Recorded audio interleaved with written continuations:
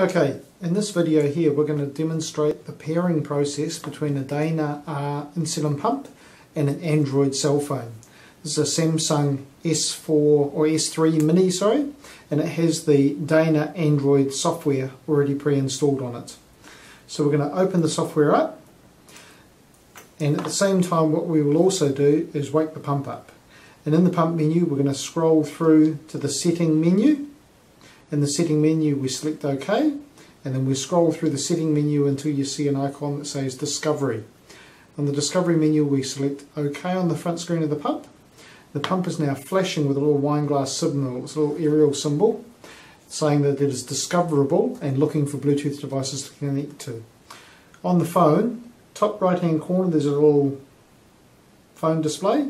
We touch that button and it says that we need to go to device discovery and then we say, do you want to discover your device? And we say, yes, discover. So it's now searching and looking for other Bluetooth devices.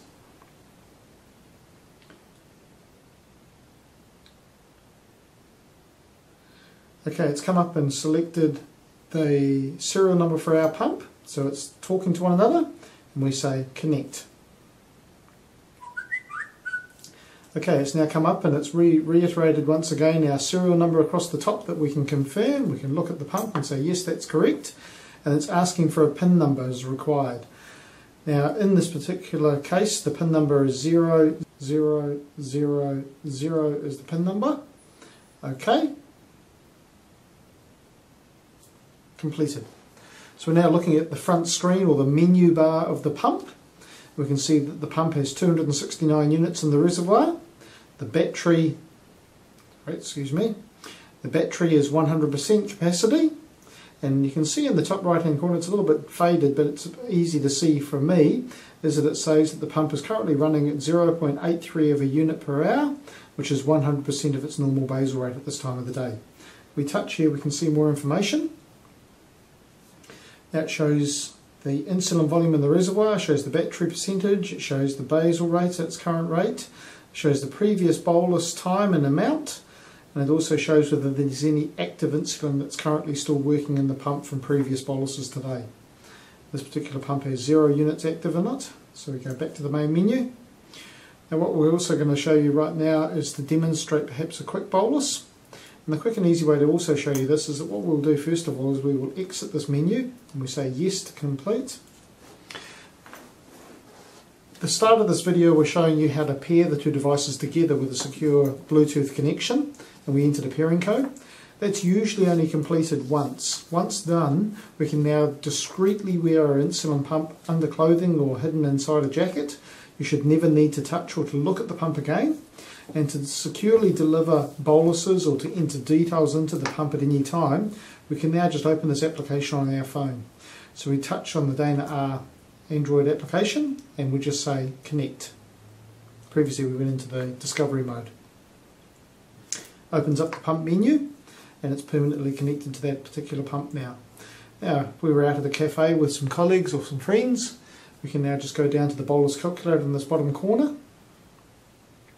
it opens up a menu bar and it's asking us what is our current BG, how much carbohydrate are we having, um, what's our ideal or target BG, what's our carb to insulin ratio, and what's our correction factor. Now most of this information has actually just been taken or withdrawn from the pump, so we don't need to amend or change much of it. What we might wish to do is to adjust or amend our current BG. We're not currently 12.2, which is perhaps what the last test was done on this pump was. We're going to dial or change that down to current BGM that we may read from a CGM device or from our blood glucose meter that we may have just completed the test on. So the current BG might be 8.3. We go OK. Carbohydrate, 32 grams carbohydrate. Sounds about right for me for a small snack or sandwich to eat at a cafe. OK.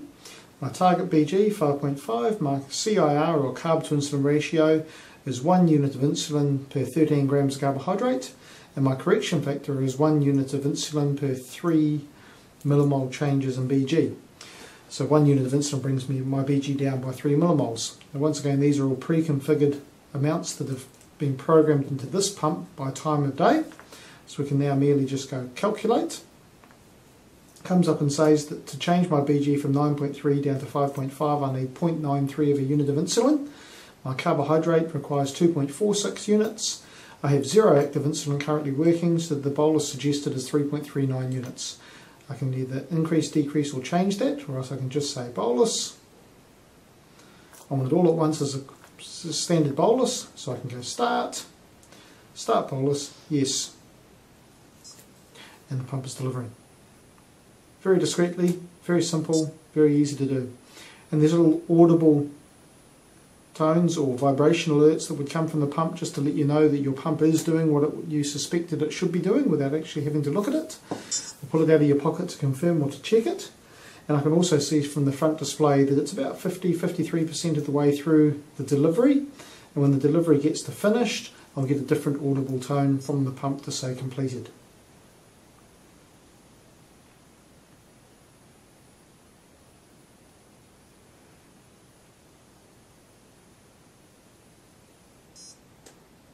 Okay, finish.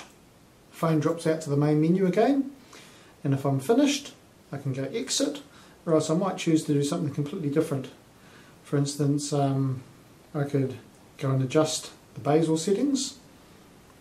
I can adjust the bolus settings or the user options. I can adjust my carb to insulin ratios by time of day. Anything you do in the buttons of the pump can be done on the phone.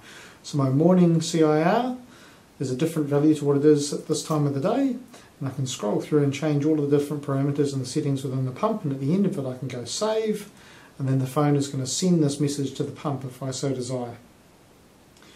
There are some other things that I might choose to do. Go back to the main menu. Would be to start a temporary rate. If I was going to walk home from the cafe, and I might choose to dial this down from 100% delivery, which is normal standard basal delivery, to perhaps 60%, and I say it's going to take me half an hour, an hour to walk home. So I can say one hour delivery, start, start, start temporary decrease. The pump's really quite clever, and that is that it's actually suggesting to us that we're decreasing the basal. Yes, we are. Sends the message to the pump. I can now see on the front display here that the pump's now are no longer delivering um, 0.83 of a unit per hour. It's now delivering 0.49 of a unit per hour, which is 60% of its normal delivery.